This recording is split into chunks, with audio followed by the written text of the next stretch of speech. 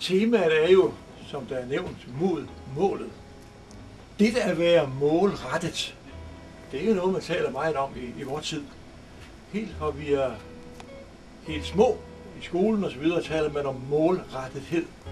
Man satser på sine øh, karakterer, man satser på mål øh, i skolen, og øh, når man så bliver teenager, så satser man på mål. Man skal, man skal have en høj eksamen, man skal være en god student, og for at gå ind på universitetet, så skal man have høje karakterer osv. osv. At være målrettet er utrolig vigtigt. Se, undertegnet her fylder 75 år her næste gang. Og øh, i mit hjem, mine far, min far og mor, de var meget målrettet, når det gælder os søskende. Jeg kommer fra en stor børneflok. Vi var faktisk ni i vores familie. Øh, jeg har, vi var fem drenge og fire piger.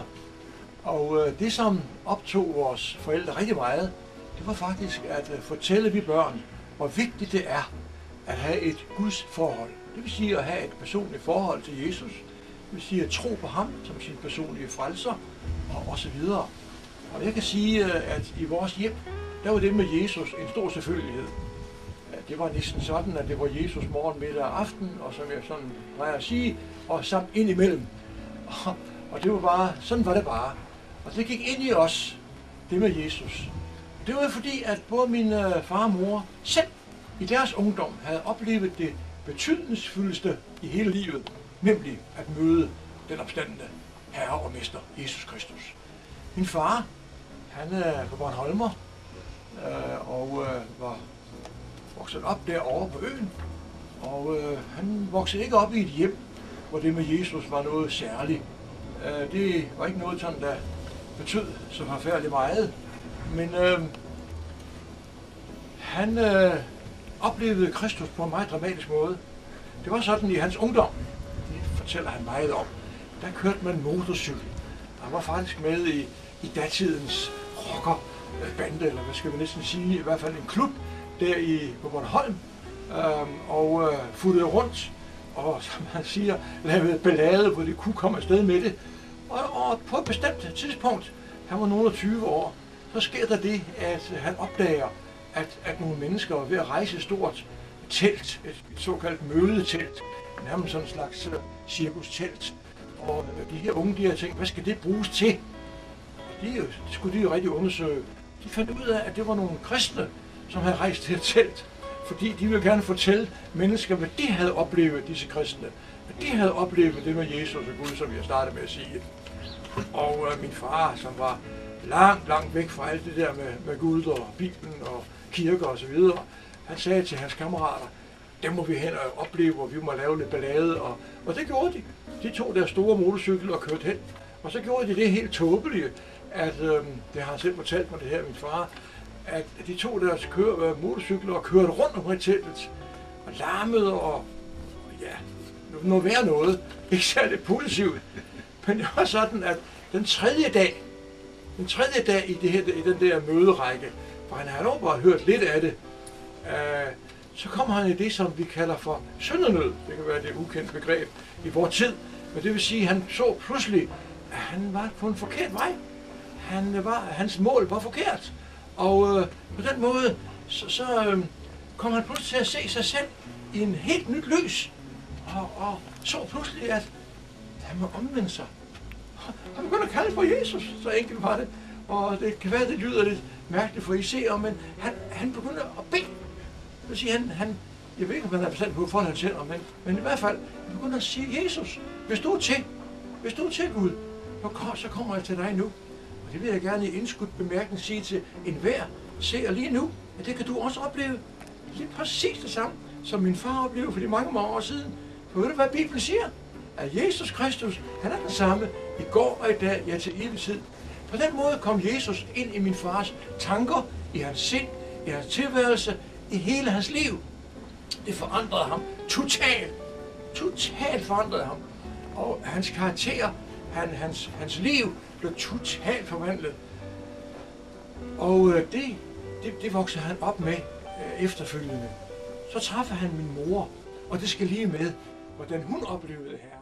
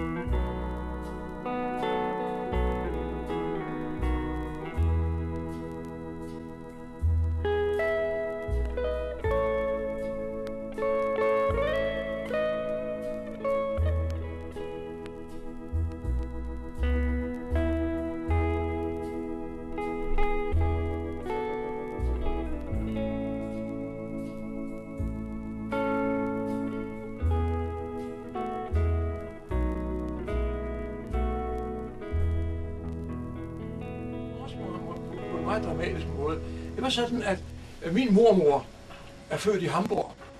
Uh, uh, hun, hun, min mormor var faktisk øh, cigøjner, eller tater, så, så uh, hun var sådan fra en omvandrende slægt.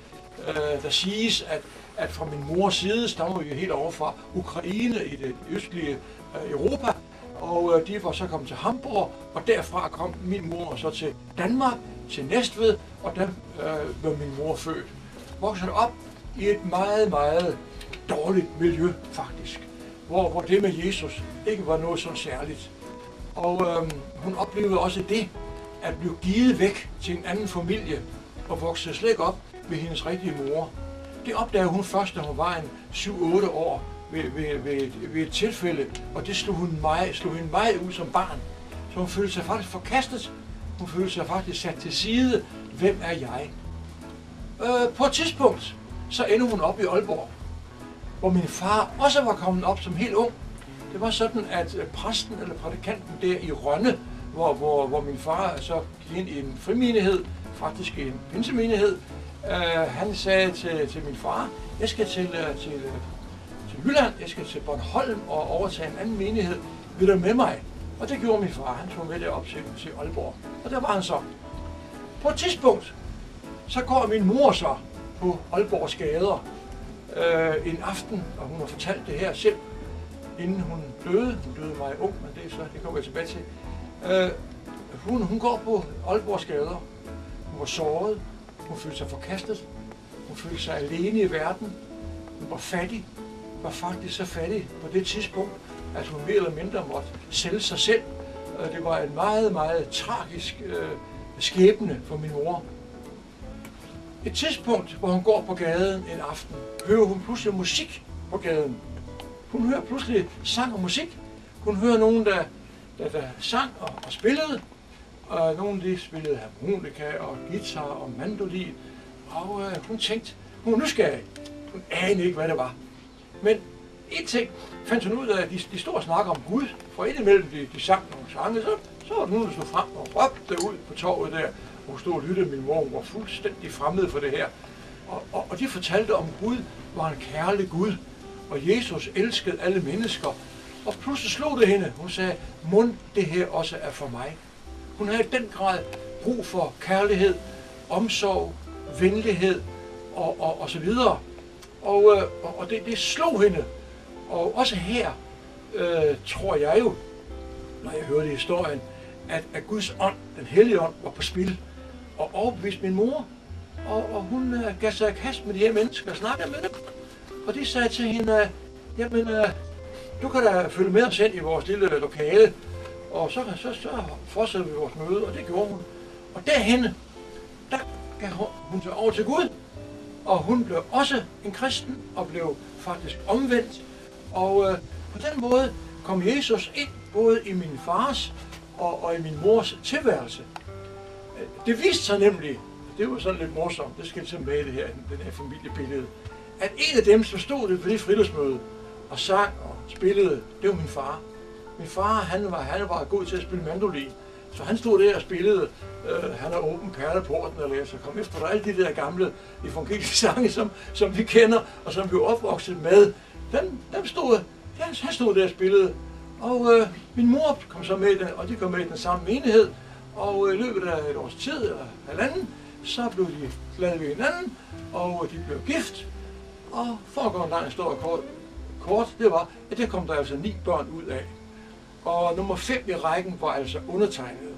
Så det der miljø med kristendom, Bibel, voksede jeg op i, og blev propfodret med det på den sådan måde, så jeg blev overfodret. Sådan følte jeg selv.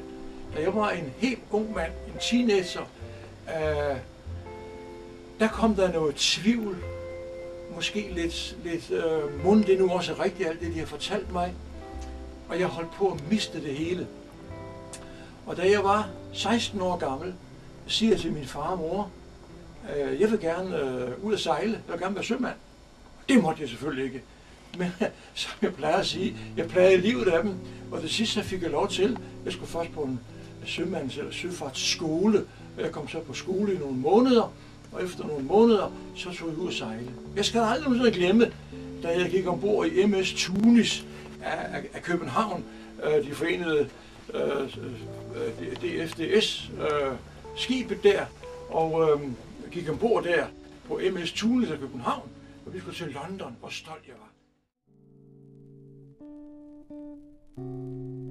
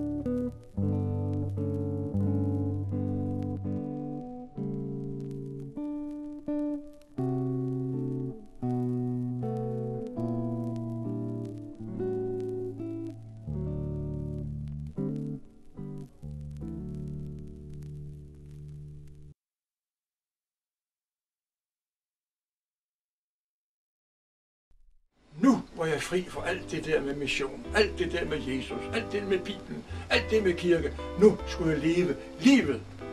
Og jeg skal da sige, at jeg levede livet.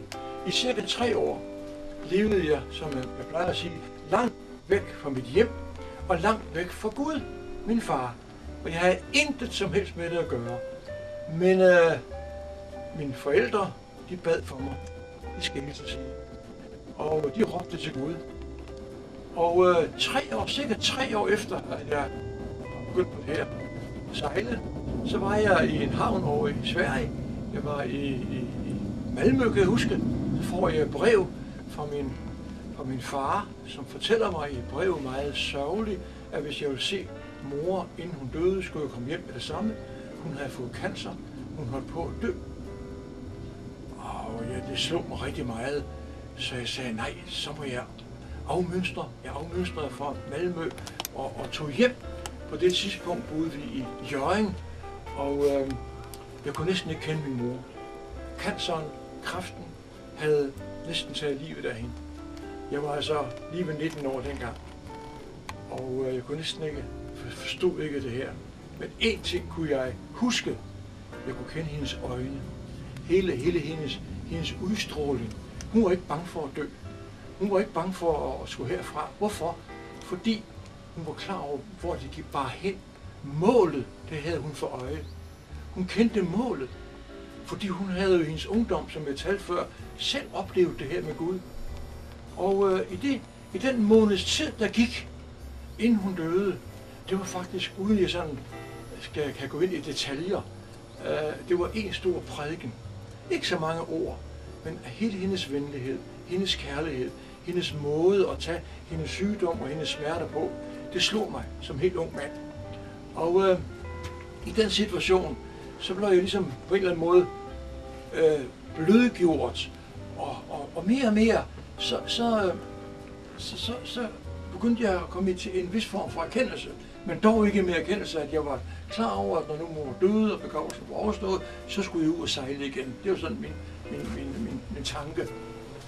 Men den morgen, hvor min mor døde, helt præcis var det den 7. februar 1956. Det var det samme måned, hvor jeg blev 19 år. Der var vi samlet ved hendes dødsleje. Og det skal jeg aldrig nogensinde i mit liv glemme. Jeg glemmer aldrig den situation. For nok var der sorg, men der var også fred. En uforklarlig fred var over det dødsleje. Og øh, på et tidspunkt, da min mor havde var udåndet og, og var gået i evigheden, så siger min far, børn, skal vi ikke bøje vores knæ? Jeg kiggede mig lidt forvirret omkring og sagde, bøje vores knæ. Det havde jeg helt fuldstændig glemt. Men jeg kunne dog huske det fra min barndom, at øh, det der med at bøje knæ, og det fik han også så til, og vi bøjede vores knæ. Og endnu kan jeg se min far foran mig, med tårerne løb ned af hans kinder, begyndte at takke Gud for den tid, der var gået. Øh, samme år, som min mor døde, der kunne de have haft øh, sølvbryllup. De var gift i 25 år. Og øh, min, min far, tårer i øjnene, takkede med det hele Gud. Og hele den atmosfære, øh, som er uforklarlig. Jeg, jeg, kan jeg, sige, jeg kan slet ikke rigtig forklare, hvordan det er. Jeg kan bare øh, sige det med, med de ord, de fattige ord, jeg har her. Der kom jeg også i en form for erkendelse af min situation. Selvom jeg troede, jeg havde glemt alt det der med Gud og Jesus og Bibelen og, og alt det hele, så kom jeg i en erkendelse af, hvor det bare hen. Jeg havde ikke det rette mål for øje. Vi i vores udsendelse hedder jo mod målet. Jeg havde glemt det mål. Det mål, jeg havde i min barndom, og det, jeg havde var blevet opvokset med og blevet fortalt om, det havde jeg glemt. Lige der i den situation, der kom jeg i ud og så pludselig, at hvis jeg fortsatte med det liv, med de tanker og de handlinger, jeg var involveret i, så vil jeg gå fortabt. Og det lyder ikke særlig godt, måske i nogens øh, ører at sige, men der er noget i himmel, og noget i helvede. Og jeg var på vej direkte mod fortabelsen, direkte mod helvede. Og mit liv var helt fuldstændig øh, afsporet, langt, langt væk fra, fra, fra den levende Gud. Men i den situation, der så jeg mig som en sønder og kom i syndernød uden at græde. Jeg husker det meget, meget tydeligt. Og jeg bliver næsten helt bevæget her, når jeg tænker på det. Og pludselig så så jeg mig selv som en sønder. Og jeg sagde til min far, far, vil du ikke gerne bede for mig? Jeg er klar over, at det går galt, hvis ikke jeg omvender mig nu. Og i den situation, så var det ligesom om, at min far i et øjeblik glemte min mor, som lå der og var død. Og han henvender sig til mig, tager mig om skulderen og siger, jo, min dreng. Og, vi begyndte, og han begyndte at bede for mig.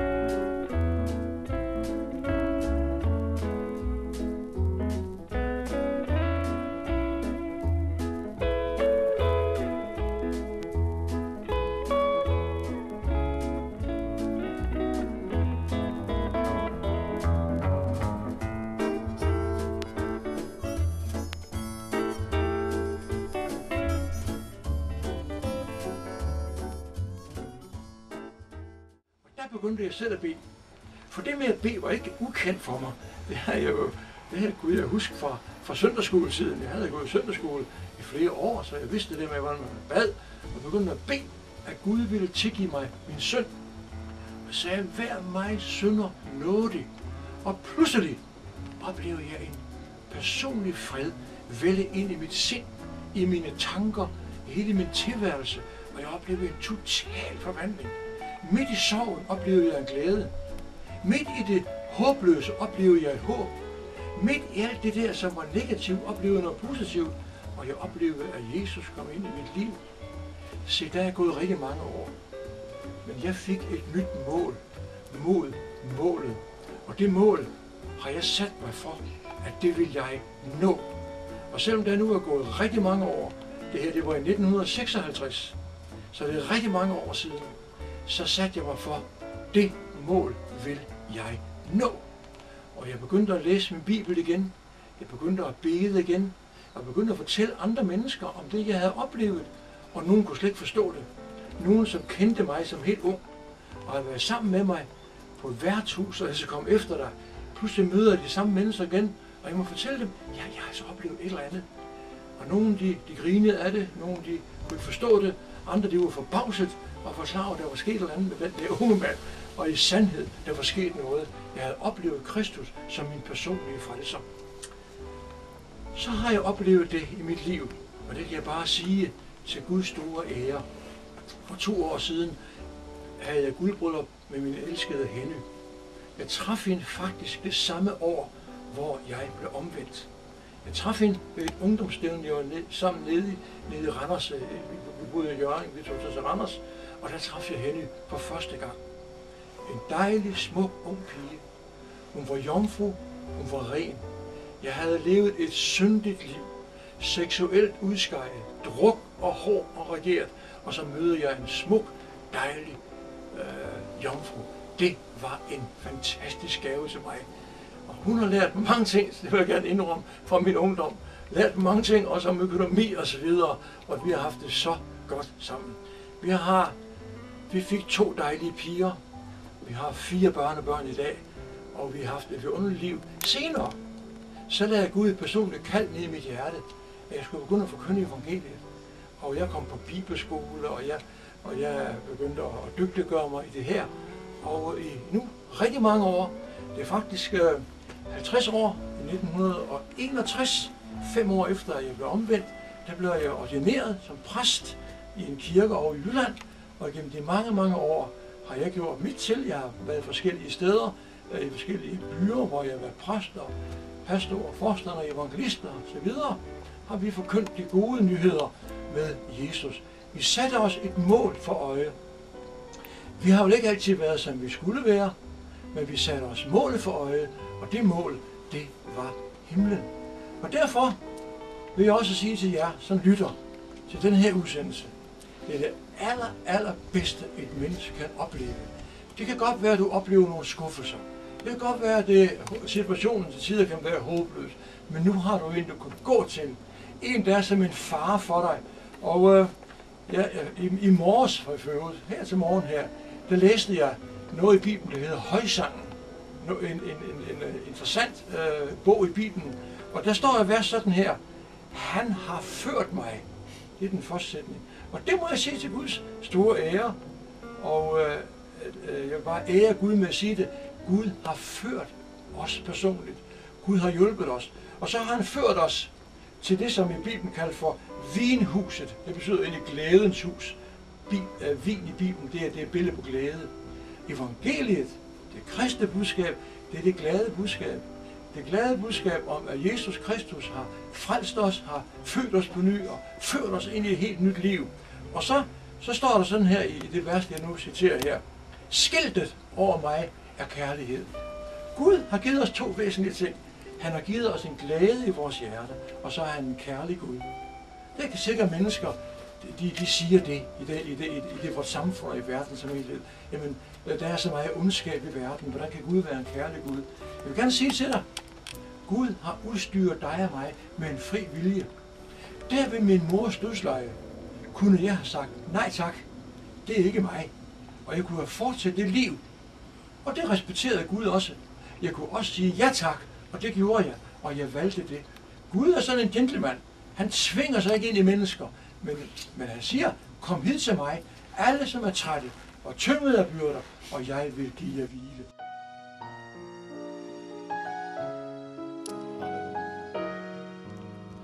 Hvis jeg blot kunne synge en eneste sang For de mennesker, vi bor blandt på jord